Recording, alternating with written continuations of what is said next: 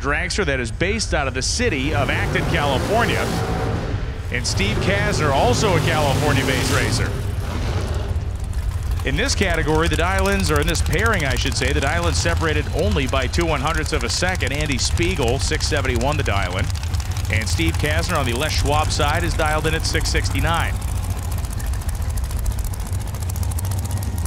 Both racers have been at this for some time, and Casner had a heck of a year in 2017. Was actually the Division 7 top dragster champion, running Riolo race engine power.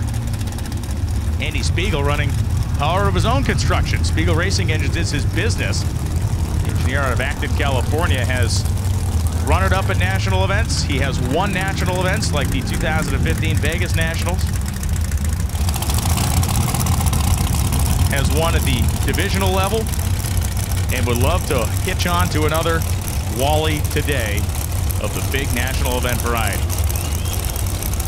Much longer wheelbase for Andy Spiegel. You look at the length of these two cars and only 200 different in elapsed time as far as their dialing. So here we go. Both cars off the starting line like a pair of shots as they get past the eighth mile at 163 miles an hour.